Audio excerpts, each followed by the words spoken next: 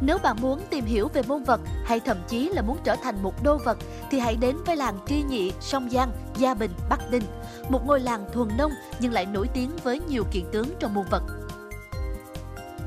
Đa số đàn ông tri nhị, dù già hay trẻ, đều biết vật và luôn có một niềm đam mê cháy bỏng với môn thể thao này.